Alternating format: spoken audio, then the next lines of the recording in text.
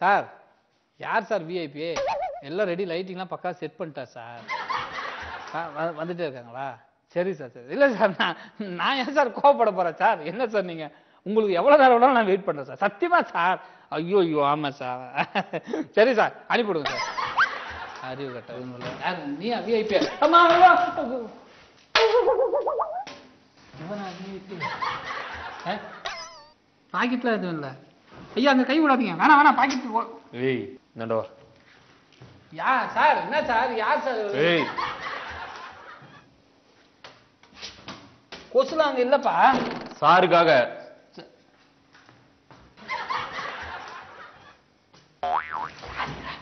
என்ன? என்ன இது பாரு நண்டோ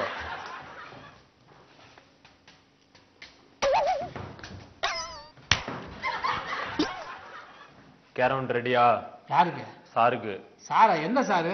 எங்க சார் இப்ப விஐபி வராரு. அவருக்காக கேரவன் பிளஸ் அவர் ஸ்நாக்ஸ்லாம் சாப்பிட்டுட்டு இருப்பாரு அடிக்கடி. சாப்பிட சொல்லு எனக்கு சேர்த்து வாங்கி வர சொல்லுப்பா. நீங்க தான் வாங்கி தரணும். நாங்களா கிழிஞ்சது ஆமா செட்ல ஏசி கிடையாதா?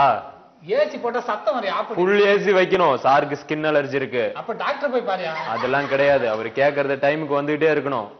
அப்படியா? நீங்க என்ன இவ்வளவு ஸ்ட்ரிக்டா பேசுறீங்க? Okay okay. ஆ. என்ன? என்ன சார் சொல்லுங்க யாரு வருது இது தொழில் எடுக்கிறா அது விடு விடுங்க பேர்லாம் வேணாம். என்ன தொழில் வேணாம் சார் நான் பில்டப் படிக்கிறேன். ஓப்பனிங் கொடுத்துருவா? Opening கொடுத்துட்டுமா? Okay okay okay okay camera என்ன ரெடி இல்ல? அப்படியே போயிடலாம் ரோலிங்ல இருக்கா? ரோலிங் வணக்கம் நேயர்களே. வாரந்தோறும் வித்தியாசமான முறையில் நம்மளுடைய டபுள் டாட் காம் நிகழ்ச்சியில் ஒரு விஐபியை சந்தித்துக் கொண்டிருக்கிறோம். அந்த வகையில் இந்த வாரம் ஒரு மிக பெரும் புள்ளி என்றுதான் சொல்லலாம். இந்திய அளவில் மாத்திரமல்லாமல் உலக அளவில் பணக்காரர்களின் வரிசையில் மிக இளம் வயதில் இருபத்தி இரண்டாம் இடத்தை பிடித்திருக்கிறார். அவருக்கு வயது பார்த்தீர்கள் எனில் முப்பத்தி மூன்று வயது தான் இந்த இளம் வயதில் ஏகப்பட்ட விருதுகள் இந்த தொழிலுக்காக வாங்கியிருக்கிறார். அவருடைய தொழில்துறையில் முன்னேற்றத்தை கருதி பல மாநில அரசுகளும் மத்திய அரசுகளும் விருதுகள் கொடுத்திருக்கிறது. இவரை கொடுத்து கௌரவப்படுத்தியிருக்கிறார். அப்படிப்பட்ட ஒரு மாமேதை ஒரு தொழில் வல்லுனர் இந்த உலகத்தையே உலுக்கிக் கொண்டிருக்கும் ஒரு மிக பிரபலமானவர் நம்மளுடைய நிகழ்ச்சிக்கு வருகிறார் என்று நினைக்கும் பொழுது நிச்சயமாக நமக்கு சந்தோஷத்தை அள்ளி தந்து கொண்டிருக்கிறது. யோ யாரு அது பிச்சைக்காரலாம் உள்ள வர்றது? வெளியே அனுப்பிவிடியா? அவர்தான் சாரா. வணக்கம் சார். உட்காருங்க சார். சார் இது எனக்கு தாங்க முடியாத ஒரு இதுவா இருக்கு. எப்படி நீங்க என்னத்தை எப்படி ஒரு நிமிஷம் ஒரு நிமிஷம் இருங்க.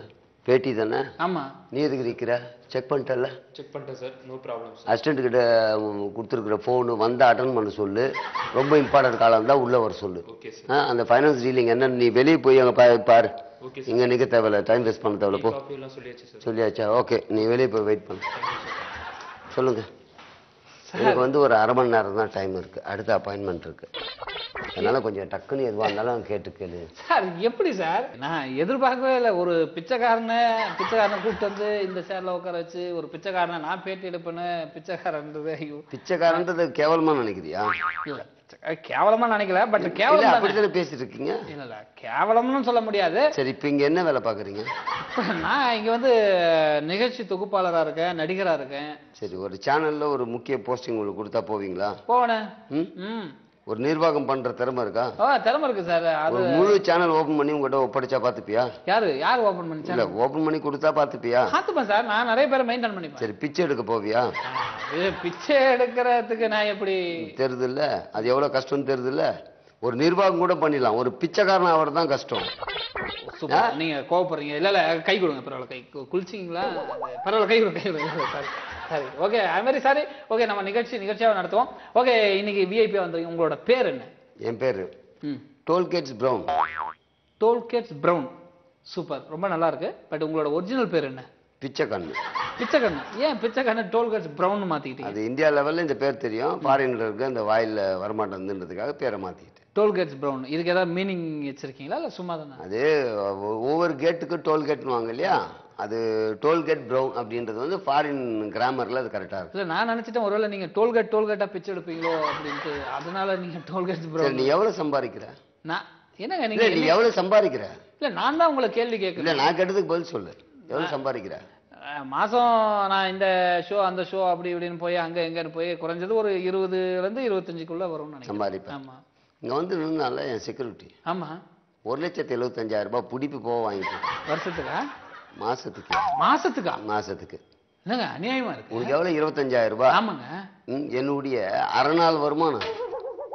அரை நாள் வருமானம் இருபத்தஞ்சு என்ன சொல்றீங்க சார்? எப்படி சார்? பிச்சை எடுக்கிறதுல இருபத்தி ஒரு நாளைக்கு ஐம்பதாயிரம் ரூபாய் கலெக்ட் ஆகும். நீ எத்தனை மணி டியூட்டி பாக்குற இல்லை.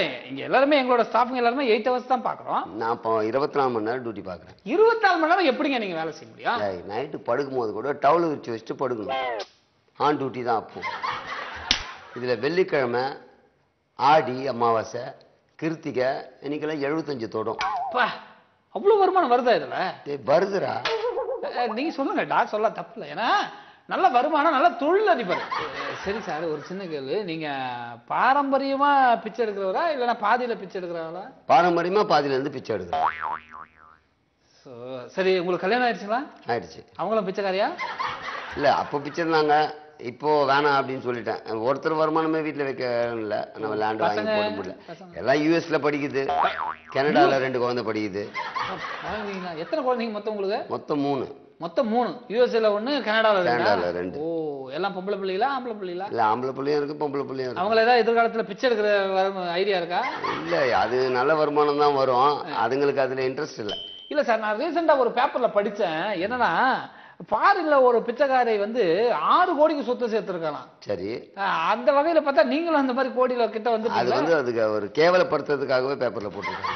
ஆறு கோடின்றது கேவலம் இல்லைங்க. நானே இன்னும் கோடி கணக்கு தொடருங்க ஆறு கோடிலாம் ஒண்ணுமே கிடையாதுங்க ஏன் சொல்றீங்க? உங்களுக்கு எவ்வளவு? அறுநூறு கோடி அனாவசியமா சம்பாதிக்கும் ஒண்ணுமே இல்ல. நம்ம இந்தியாவிலேயே அறுநூறு கோடி சம்பாதிக்கணும். தெரியுமா?